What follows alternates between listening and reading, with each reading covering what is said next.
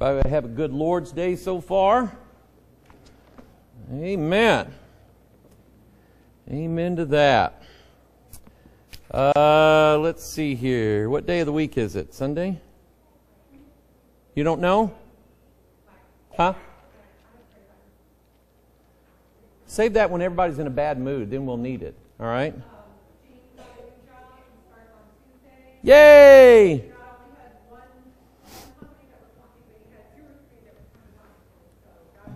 Amen.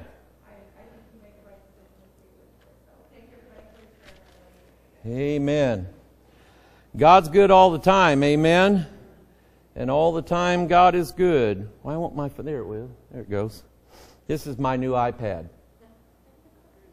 I opted for the mini version of it. Uh, Deuteronomy 32, Revelation 12. We'll go ahead and turn there. and um, appreciate everybody being here tonight. It's been a good day. Amen. Um, we'll um, we'll be posting uh, later this week the various videos, pictures, and so on. You should have you should have seen Sweetie Pie uh, Thursday out at Kilimambogo. It is a um, it's a village uh, about two hours out of Nairobi, and Kilima means mountain or hill. Mbogo. I don't, I don't know why these Africans like to put M in front of their words, like Mbogo and Ngali or whatever. But Mbogo means buffalo. So it's Hill of the Buffalo. Or in English, we would just say, yeah, it's over there on Buffalo Hill over there. Uh, big, big hill out in the middle of this plain. And they almost get no rain, but they have this, uh, what started out as a beautiful spring fed river uh, but for the trash collected in it, it would be a pretty, pretty stream. But that's about the only water they get in this area, and they get their drinking water and their livestock water and their, their pasture water from the same place. Uh, but the people there, uh, and, and as strong as Bible Christianity is in this village, I don't know where they got the people to build a mosque, but there's a mosque uh, right at the entrance to this village. And what, what always was curious to me about it was, even in Kenya, they build buildings to line up with the streets. Okay? But this building isn't lined up with any street, and it's right next to a street. We would use the term cattywampus. It's, it's not juxtaposed correctly to the street. So I was out there looking at it one day, a couple years ago when we were there, and you're on the equator. When you're in Kenya, you're almost right on the equator, so north, south, and east and west is pretty easy to figure out. And there are 12 hours in a day every day out there. 12 hours and 12 hours. And it's pretty easy to figure out. But I was looking at this building. It's got four towers on it, four minarets, and it's perfectly lined up with the four directions north, south, east, and west. Now, they have to do this. They have to do this because Allah doesn't like things not lined up, apparently, or whatever. Um, but they do it because Mecca is east, and they call them, they say they're not idol worshippers, but they are because let me explain idol worship.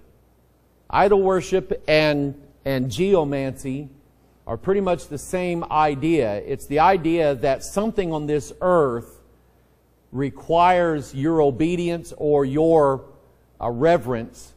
And if you don't give it the reverence, then you're not going to paradise. And um, this particular mosque and it was like this anywhere you go. I would say in Kenya, I don't know about the rest of the world, but every mosque I've seen in Kenya is always lined up north, south, east, west. And um, the four towers, the four minarets, this is what's interesting. In elemental witchcraft, you have the four elements earth, air, fire, and water. But one of the band members left, so it's now it's just earth, wind, and fire. But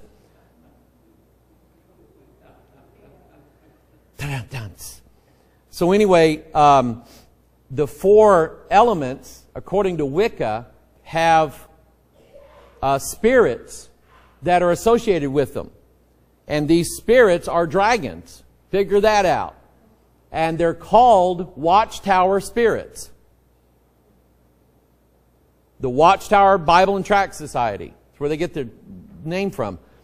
But anyway, there's these dragons that are asleep and they're over these four towers, these four uh, elements. And in order to invoke them for your magic ritual, you don't dare wake them up quickly or they'll eat you. That's the idea. That's, that's, their, that's their religion. And they say, well, what makes their religion any worse than yours? Um, ours is real. Um, there's nothing on this earth that you need for eternal life. Not a building, not a direction, not four magic words, not four sacred stones, nothing. There is Christ, everlasting, eternal offering for sin, His atonement, and His blood on the mercy seat of God, where God is sitting right now there's your salvation. It's not on anything of this world. You don't have to get saved in this church. You don't have to get saved facing this direction or standing in this spot on the carpet. No, we don't require anything of this earth because if man can build something that requires you obeisance to it for salvation, some other man can destroy it. Why we didn't blow up Mecca after 9-11 should have done it because that would show these people that their religion is in vain. May have just made them mad, but anyway, um, that, but that just, that always bothers me because I know what kind of spirit is associated with those mosques. Because I've butted heads with those spirits before. Uh, out in Migori, Kenya. And uh, I don't want a mosque in Jefferson County. That doesn't make me a racist, doesn't make me uh, hateful. I, I don't want that. I love people, and I feel sorry for these Muslim women who have to endure the hatred of Islam towards women. And it's a religion that says to you men, if you encounter a non-Muslim woman, you can rape her on the spot and Allah says that's okay because she's a dog.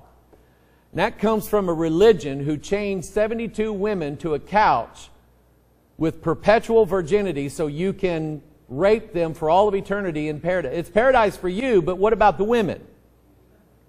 And I just don't, I don't get that. I don't understand why you would want that for your eternal life when God's version of it is so much better.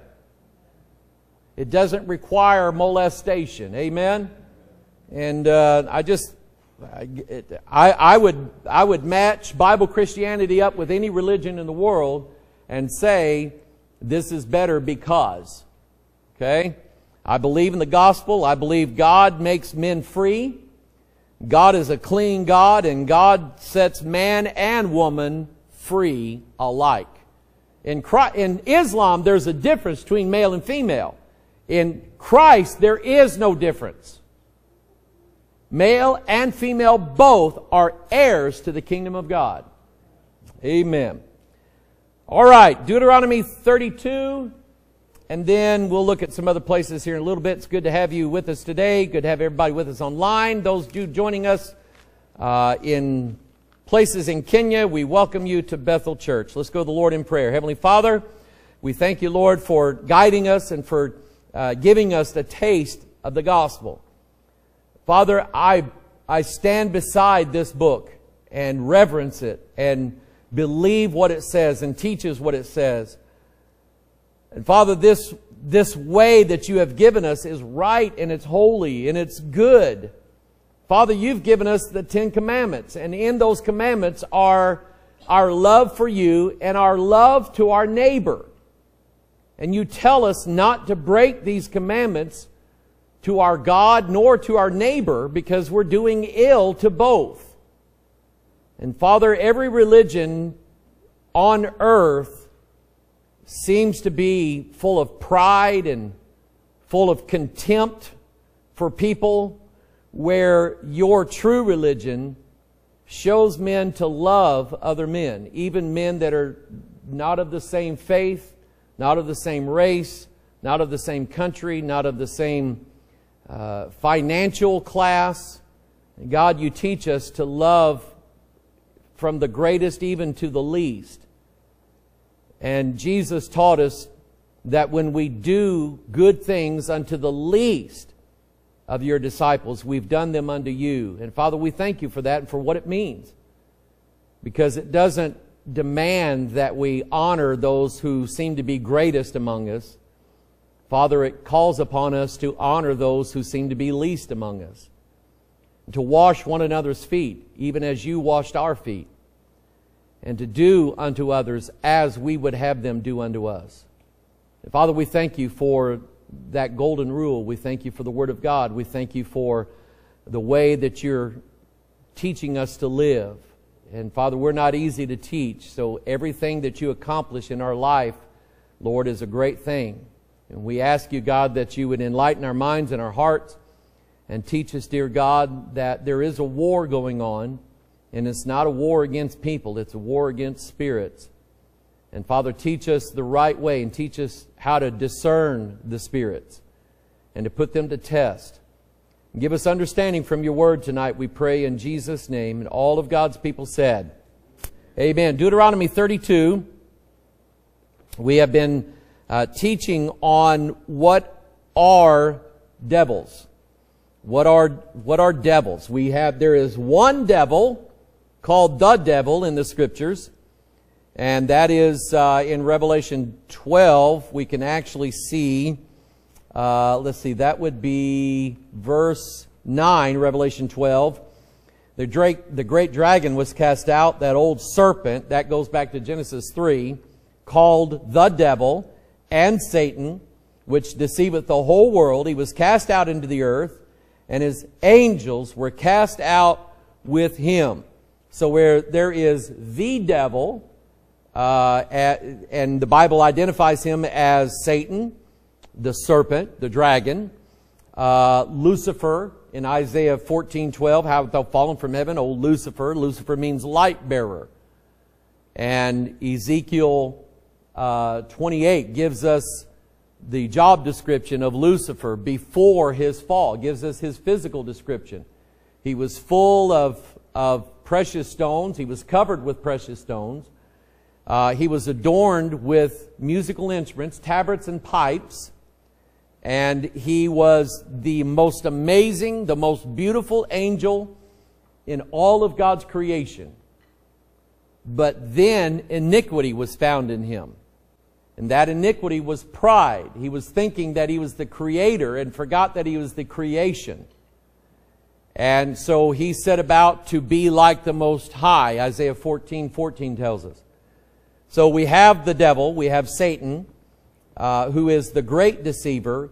And then we mentioned this in Sunday school that there are there is an hierarchy of angels, both good and bad.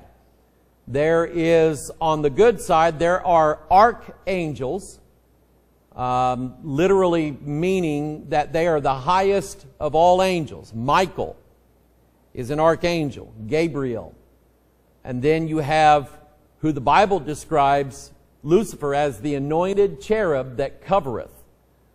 So there's this idea, may not be, we may not be understanding this 100% correctly, but this idea that Lucifer's wings were spread over the Ark of the Covenant because we know that God describes himself as dwelling between the cherubim and the Ark of the Covenant, it was specifically designed by God, telling Moses, God showed Moses what it was, And then he told him that, you know, I want you to put two cherubs on there with their wings spreading over and covering the Ark of the Covenant to cover or to hide the glory of God.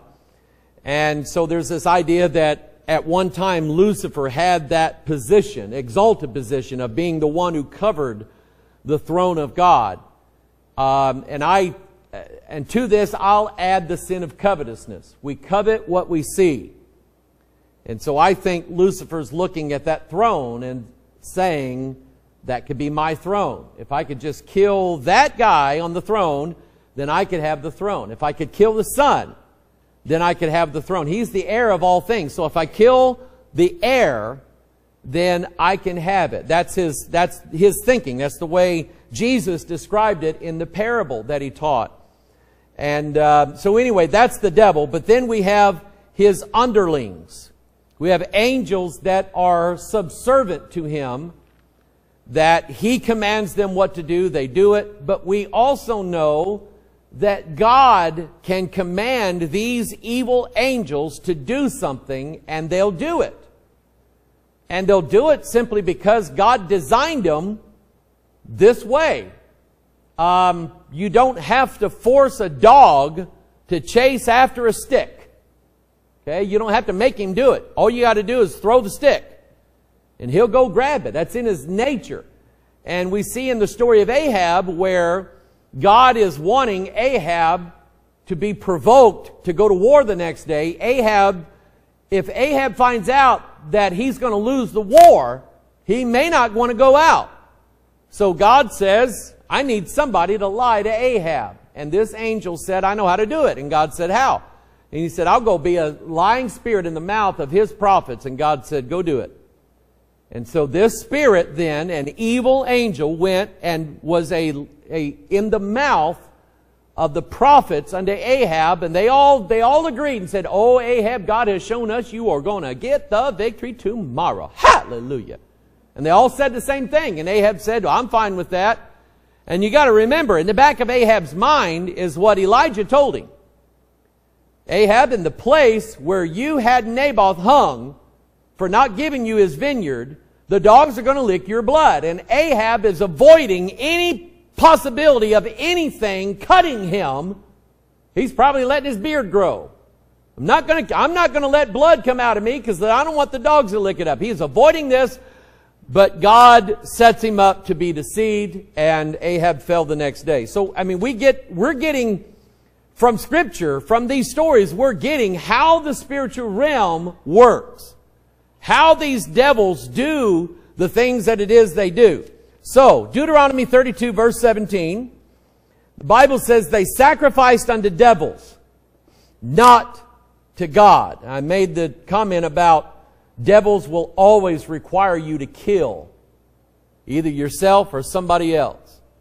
God did not ask us, ask that of any of us. He sent Himself, Christ, who was sacrificed for us. It's not, we don't sacrifice for God and get that accepted. God only accepts the sacrifices of, of His only begotten Son. And so think about the religions then that require you to kill your firstborn child. That's nuts. Okay? That's crazy but it's, it's religions throughout the centuries and throughout the world requiring human sacrifices, whether it's your firstborn or whether it's slaves that you conquer in battle, those gods require a human sacrifice. God does not accept that. God only accepted the voluntary sacrifice of His only begotten Son, Jesus Christ. And so they sacrificed unto devils, not to God, to gods whom they knew not, to new gods that came newly up whom your fathers feared not. So that is the basis then of our understanding of what devils are. They are gods with a little g. Did we have a prayer yet? I couldn't remember. It's been so long ago. Sometimes my mind just comes and goes. You know how that is. Amen. All right. Uh, let's go to, let's see, where can we pick this up at? evil angels. And let's see here. Yeah, let's go to 2 Peter chapter 2. 2 Peter chapter 2. It's been a couple weeks, so I'm not quite remembering where we left off, but we'll cover some ground and then we'll move forward. 2 Peter chapter 2. The Bible is going to describe for us a certain group of angels that sinned. This group of angels that sinned are not the devils that we see uh, in the Gospels. They're not the devils that represent the gods that people worship. They're not the devils that inhabited uh, certain people like Legion and so on. These are, a, these are a different group of angels, and we'll see what their sin was and what God did with them. 2 Peter chapter 2 verse 4, For if God spared not the angels that sinned, and we're going to learn from the Bible what that sin was, but cast them down to hell, and delivered them into chains of darkness to be reserved unto judgment. And then the book of Jude. There's only one chapter in Jude, so if I told you to turn to Jude 2, you fell for it. Jude verse 6 is a double witness, a second witness to 2 Peter 2. The angels which kept not their first estate. What was their first estate? Their first estate was heaven. That's where God made them to inhabit. They inhabited a realm above ours. The angels which kept not their first estate, but left their own habitation. There it is. They had a dwelling place that was above ours, and there was something that lured them out of heaven and caused them to commit a sin. The angels which kept not their first estate, but left their own habitation, he hath reserved in everlasting chains under darkness, under the judgment of the great day. Now, the reason why I'm, I'm sort of partitioning this out or sequestering this part of scripture is there are some people who don't believe what the Bible says in Genesis 6. So they'll want to say that all of the evil angels, the one third that is cast out with Satan in Revelation 12, right now those angels, those devils are in chains in hell. Does anybody believe that? I don't. Because I've fought them. They don't act like they're all that chained up to me. If you've ever tangled uh, or in, if you've ever encountered these evil angels, these devils, and and had to battle them and had to uh, had to wrestle against them, you would believe that they're chained up. Um, but some, because they don't like the interpretation of Genesis 6 and what it means, then the only sin they can come up with is rebellion with Satan in the war, and they're kicked out of heaven, and we're, we're, we're battling chained up angels. Again, if you've ever battled them, you know they're not chained up. Uh, it's the same, sort of along the same crowd that says that Jesus is not going to reign a literal 1,000 years. He's going to reign. The word, the phrase 1,000 in ancient Greek uh, symbolized a large amount of time. But we're not just dealing with ancient Greek literature. We're dealing with the Word of God. And if God said a thousand years, He did not mean something besides 1,000 years. To that they add, we believe that Satan is bound right now I don't believe that. Because that's the idea. If we're in the millennial reign of Christ right now, and Satan is bound, then who's doing all his bad work?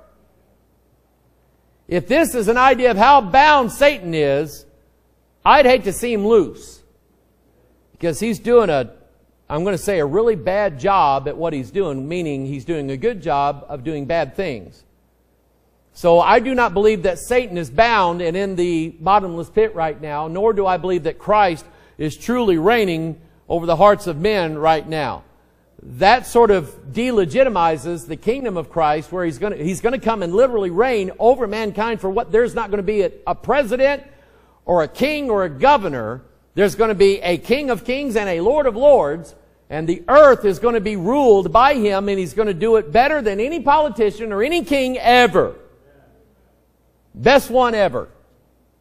So, what is the sin Jude 1 6, 2 Peter 2 4. What is the sin that these angels, what caused them to leave their first estate? What caused them to leave the habitation of heaven to come down here that God was so bad that God threw him into hell, wrapped him up in chains, and kept him there? What was that sin? Turn to Genesis 6. Here is that sin. Genesis 6, verse 1, It came to pass when men began to multiply on the face of the earth, and daughters were born unto them, that the sons of God saw the daughters of men, that they were fair, and they took them wives of all which they chose. Verse 4, There were giants in the earth in those days. How about you believe in that one? Say amen. And also after that, when the sons of God came in unto the daughters of men, and they bare children to them. So the Bible's telling you, in verse 4, it's telling you that it happened twice. Happened once before the flood. There were giants in the earth in those days. And then also after that, meaning after the flood, they did it again. Um, when the sons of God came into the daughters of men, that they bear children to them, the same became mighty men which were of old, men of renown. And I, I would just encourage you, if you would just want to have fun on the internet, uh, to look up ancient myths and ancient stories about giants. Because it's not just myth. The Bible's telling you that these stories the same became men of renown. The Mesoamericans, South Americans, European, Russian, China, Africa, um, Middle Asia, like in India, and every place on the planet that tells stories from long ago, they all tell dragon stories and they all tell flood stories and they all tell giant stories. And all three of those stories have a basis in reality in the Bible. Now, you're not going to get the whole truth out of these stories, but you're going to, what you're going to hear is giants. That's the part you can believe because um, they dealt with them before the flood. We know after the flood that Moses killed two of them, killed two of their kings, Og and um, who was the other one? Og, king of Bashan, and Sihon. And then Joshua killed 31 more. David killed Goliath, and David's mighty men killed four other giants that seemed to be related to Goliath. In fact, we know they were related to Goliath. And we're not just talking about six foot eight guys. We're talking about uh, Og's bed was nine cubits tall. That's 13 and a half feet. That's the bed that he slept on. Goliath was somewhere close to around 10 feet tall. It's not unbelievable when you understand where they came from. Who was their, who was their sire? Where did these giants just, did they just magically appear or what? Well, it's telling you that the sons of God saw the daughters of men. So along with these giant stories all over the world, you have stories of gods mingling with human women. Greek mythology, Roman mythology, uh, Chinese mythology. In fact, the Chinese creation story is basically about uh, a god and a goddess mingling their seed together to create men. But you have these giant stories. The first civilization on record was the Sumerian civilization. The first civilization to ever begin write stuff down was the Sumerians, and they all wrote about the giants and how they got here. Okay? First newspapers basically were the Sumerian records of history, and they recorded from their viewpoint how this happened. And they all said it was the gods and human women and that they made giants and so on. So, let's go to, uh, let's go to Daniel. No, Job. Job, chapter 1. Who are the sons of God? I'm, I'm, I'm not going to spend a lot of time on this. I have a lot of teaching on it, but just to cover the base here, there was a man in the land of Uz whose name was Job, and that man was perfect and upright and one that feared God and eschewed evil. And there were born unto him seven sons and three daughters. If we went down to verse 6, now there was a day when the sons of God came to present themselves before the Lord, and Satan came also among them. The sons of God here are the angels. If we look in Job chapter 2, verse 1, again, there was a day when the sons of God came to present themselves before the Lord, and Satan came also before the Lord. Again, the sons of God are the angels. If we turn our Bibles to uh, Job 38. You have, as far as the phrase sons of God are concerned, you have the Genesis 6 reference, you have Job chapter 1, Job chapter 2, and Job chapter 38. And as far as the Old Testament is concerned, that's the, that's it, mentioning sons of God. So Job 38 tells you in no uncertain terms who they were. Job 38 says, Verse 6, whereupon are the foundations thereof fastened, or who laid the cornerstone thereof? When the morning stars sang together and all the sons of God shouted for joy. The morning stars, these were angels. The sons of God shouted for joy. These were angels. Is it possible that something like this could have happened? Well, we know Jesus, as you turn your Bible to 1 Corinthians 15, we know Jesus um, they asked him, uh, they gave him a situation. They said, in the law, if a man married a woman and the man died before they raised up seed, then the law said that his brother had to marry her. And if he died before, they, I mean, they come up with this ridiculous scenario. And all of a sudden, this guy's got six brothers and all of them die. I would hate to be brother number seven. They said, it's your turn. I ain't marrying that black widow. No, I'm not marrying her. I'll die. Because every one of them died before this guy. But the scenario was, a man, the law said that if a man died before he raised up seed, that his brother had to take her to his wife to raise up seed unto him. And they ran through, what if brother number two died, brother number three, brother number four, five, six, and seven, brother number seven died. All seven of this man's brothers died, whose wife is she going to be? That's like, you know, where did Adam get his belly button kind of stuff. And Jesus said, you do err not knowing the scriptures nor the power of God. See, that's your, Jesus said that's your problem. Your problem is not me. Your problem is you don't believe the Bible. And he said, you don't know this, but in the resurrection, we neither marry nor are given in marriage, but are as the angels in heaven. There's a lot packed in there, but what he just said was God doesn't allow angels in heaven to get married. There is, there is none of that. But notice he said in heaven. During homecoming, I was telling you I read commentaries from like 150 years ago, 100 years ago, 150 years ago. I'm not the first guy to come up with that statement. I, there's common, common commentators from 100 years ago saw in what Jesus said angels in heaven, and they went, there it is right there. If you're an angel in heaven, you don't get married. That's the rules. These left their habitation. Okay? They committed that sin, leaving their habitation. They left their estate and committed a sin. Uh, book of Job says God charges angels with folly. And so some would say, therefore, they can't get married, so they didn't get married. But 1 Corinthians 15. The, the other objection to that is angels don't have bodies. They don't have DNA. 1 Corinthians 15 covers both of those questions. Verse 37, 1 Corinthians 15. That which thou sowest, thou sowest not that body that shall be, but bare grain. He's talking about seed. It may chance of wheat or some other grain. And what is in a seed but a bundle of DNA that's going to determine what that plant's going to be. So verse 38, but God giveth it a body as it hath pleased him, and here it is, to every seed his own body.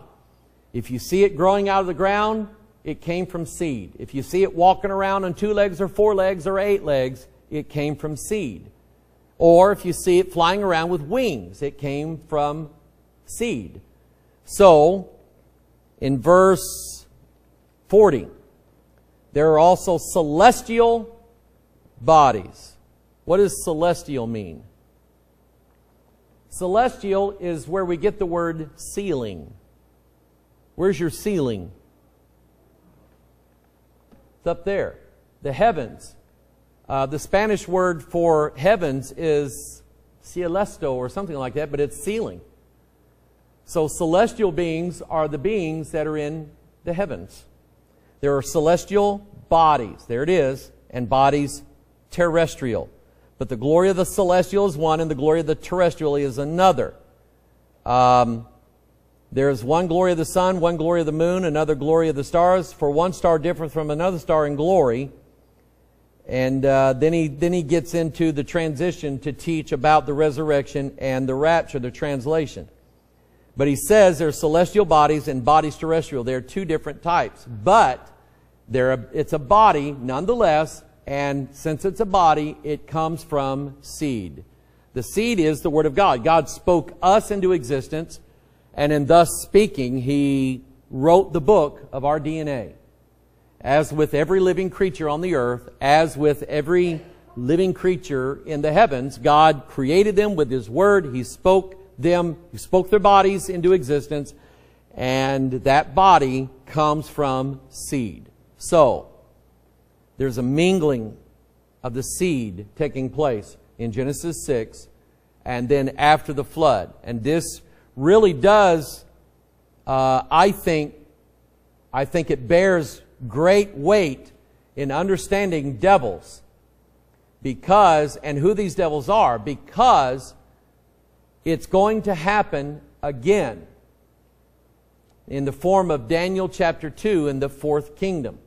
They shall mingle themselves with the seed of men, the Bible says. Who is it that's doing that? It is whatever that fourth kingdom represents. And I believe that it represents evil angels. God's going to turn them, give them rule over this earth. The gods are going to rule. All right? The gods are going to rule. So, uh, now that we've cleared that out of the way, let's go to Revelation 12. Let's look at uh, what, what these devils really are. Revelation 12. Let's read this. We're going to read this whole passage here. I have verses 3 and 4 up on the screen, but Revelation chapter 12. There appeared a great wonder in heaven.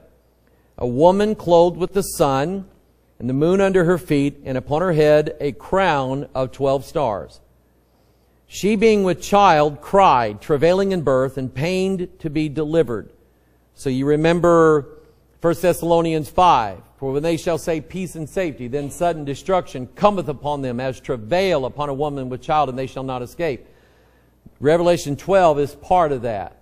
But so is Isaiah 13. If you want to write that down, Isaiah 13 talks about the sun being dark and the moon turned to blood, and pangs are going to be taking over men as the pangs of a woman in, who is travailing in birth.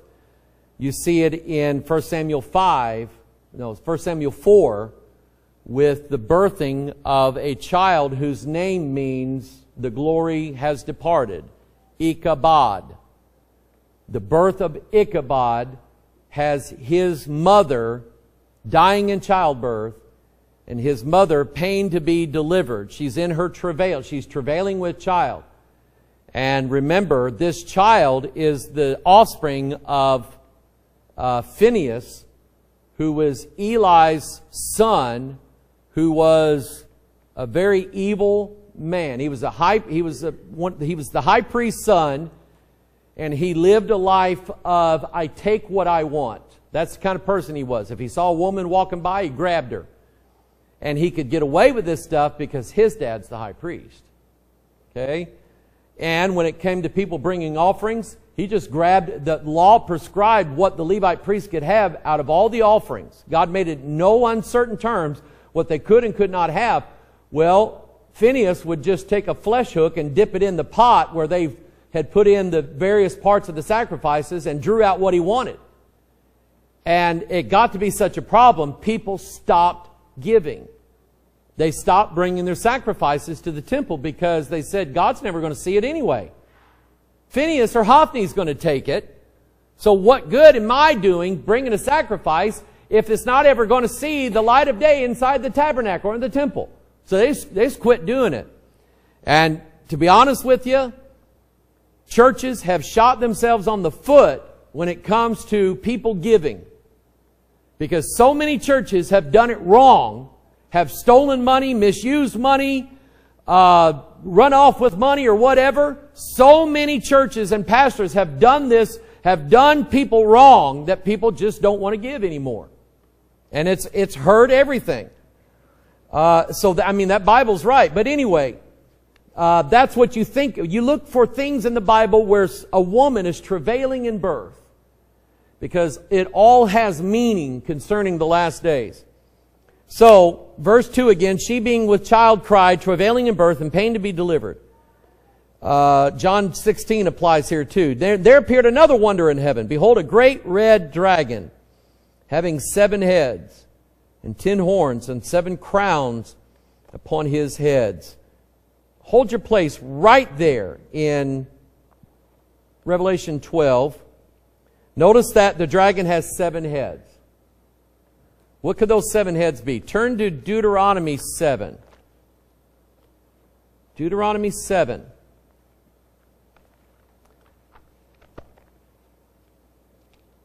The land flowing with milk and honey in the story of Moses is a foreshadowing of heaven. You and I seek a country that is given to us by inheritance. given to us because we are sons of God. In the New Testament, every place where the phrase sons of God is used, it applies to us as born again believers. Because we're going to take their place. God's going to kick out one third of the angels in heaven. That's going to leave plenty of room for us. We get to move into their mansion. And if you study the Exodus, that's exactly what God promised the Israelites. He said, when I send you into this land, you need to understand me. You're not going to have to go in and, and build houses. I'm going to run the people out whose houses you're going to live in. Their coffee cup's going to still be sitting with hot coffee on the table when you move in. I will have just chased them out. And you be going, oh, I like this house here. This is nice. Okay. Oh, look, dinner's on the table for us, huh? Come on. I mean, literally, that's what God said. God said, I'm going to run them out. I'm going to give you their house. I'm going to give you their cities. I'm going to give you their cattle. I'm going to give you their fields, their vineyards. I'm going to give you everything. That's what's waiting for us in heaven. We're going to get to inherit a land that doesn't belong to us but by God's promise, by inheritance. We, the sons of God, get to inherit the kingdom of heaven, and we're going to move in a mansion that some poor, dirty angel was living in. So, in Deuteronomy 7, look at verse 1. When the Lord thy God shall bring thee into the land whither thou goest to possess it, and hath cast out many nations before thee. Think about what he just said. Cast out. That's the exact words used in Revelation 12. Cast out. So he said, hath cast out many nations before thee. How many nations? The Hittites, the Girgashites, the Amorites, and the Canaanites, and the Perizzites, and the Hivites, and Jebusites. How many is that? You don't have to count. It says right there, seven nations greater. Than... I'm not kidding you. When I first read this, I'm going, oh, I'm going to count those One, two, three, four, five, six, seven. There's seven here. And then I read seven nations, and I'm going, oh, I didn't have to read it. Seven nations greater and mightier than thou.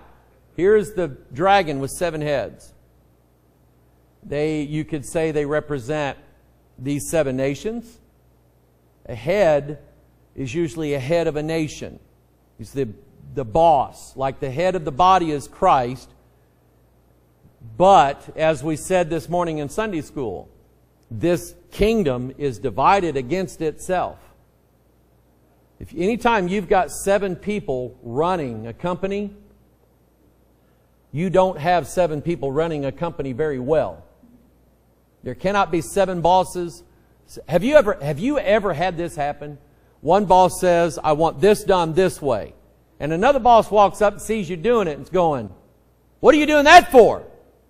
Well, boss number one said to do it this way. Boss number one's an idiot. I said do it this way. I'm fixing to have me a talk with boss number one. I'll tell you that right there. And you're going, when you guys figure out where your head needs to be, come see me and tell me what to do. Right? There are not seven pastors to a church, seven husbands to a wife. Ladies. Oh, listen to the collective sigh. Oh, thank God for that. anyway, the se- seven heads would be bad, wouldn't it? Amen. Uh, back in Revelation 12, the dragon has seven heads. In verse 4, his tail drew the third part of the stars of heaven. There they are. That third part of the stars, they're already evil. It's not that they're really good angels, but then they decided to follow the rebel without a cause, okay? They were, they were evil from the creation. Um, and, and the story of Ahab shows you that. Because when God said, Who'll go and lie to Ahab, it wasn't just one angel that said, I know how to do it. There was one and then another. I mean, God, there was hands raised all over heaven. I know how to do it. And God picked one and said, Go do it. So these angels are evil from the beginning. God, we covered that two Sunday nights ago. God created evil. Uh, Isaiah, I put that up on the screen. Isaiah, let's see, where is it? Where did I put it up on the screen at? Uh, Genesis 2, ah, come on, I know I, I know I did. Isaiah 40, there it is. Isaiah 45, 7, I form the light and create darkness. I make peace and create evil. If, it's a, if it exists, God created it, both good and bad, but it serves His kingdom. It serves His will. Um, it was the evil, think about it. It was the evil of this world that drove you to the cross. Right? Because you said, I see where I'm going and I don't want to go there. Excuse me, when you drive by the cross, let me out because that's where I'm staying. I'm getting out of here.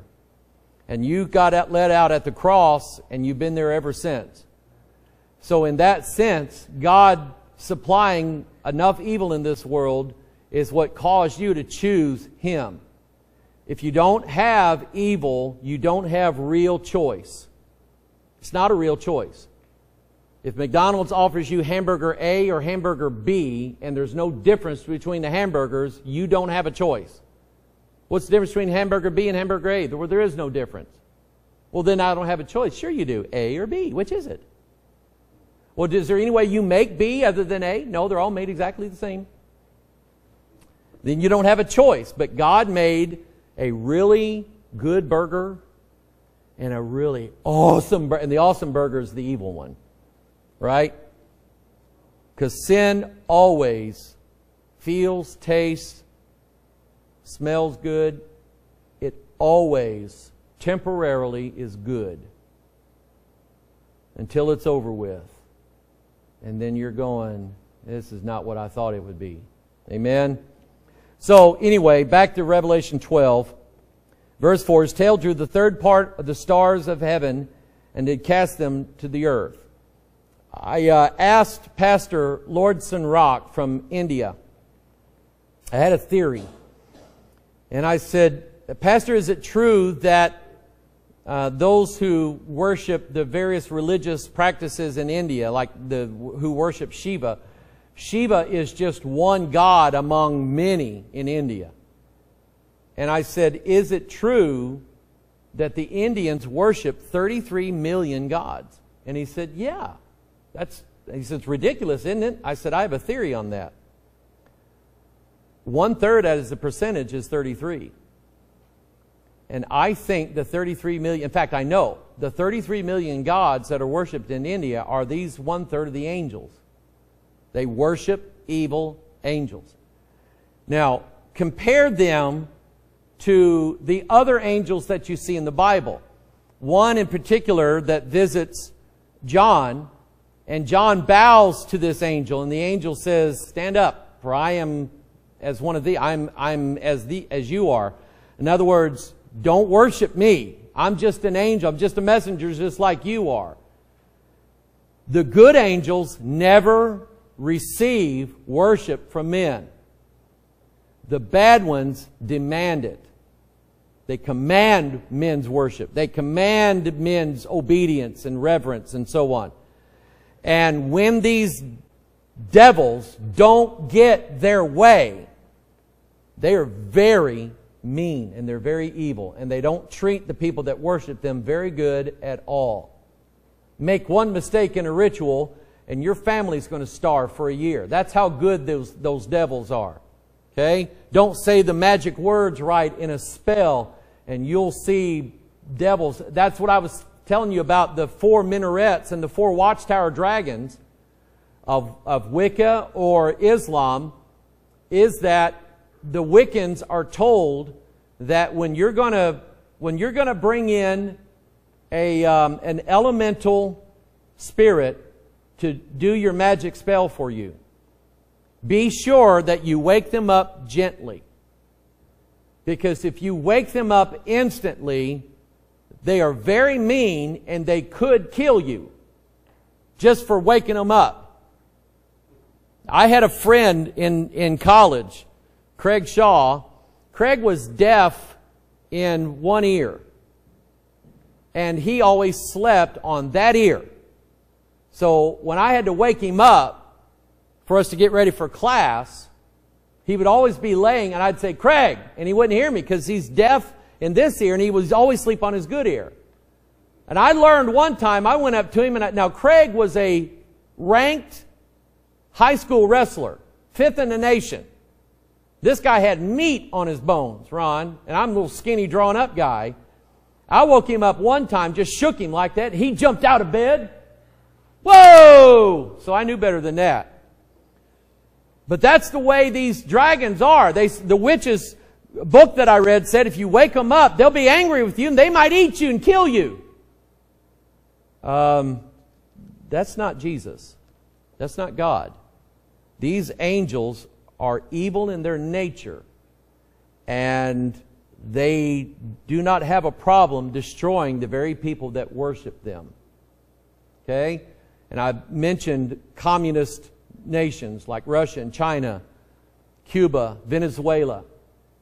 These communist dictatorships don't see anything wrong with killing, massacring millions of their own people for the sake of the state. What time is it? Oh my. See, I don't have my watch. Anyway, let's get back to this and I'll finish it up here. Um, the tail drew the third part of the stars of heaven, did cast them to the earth, and the dragon stood before the woman which was ready to be delivered for a child as soon as it was born.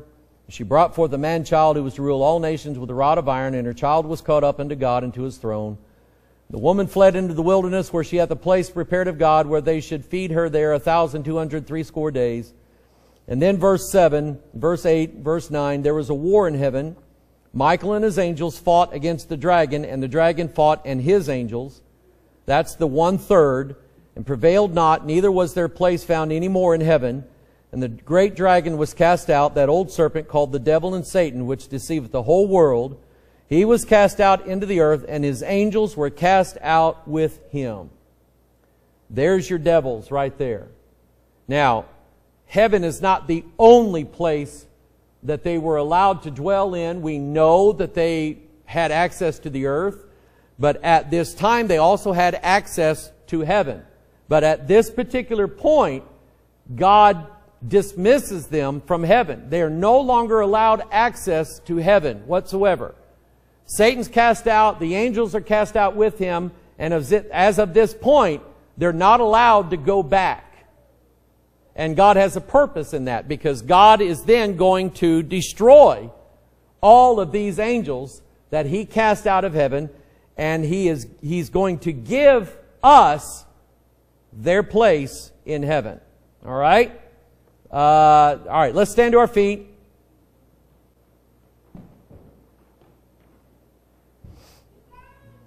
Are we done? We done?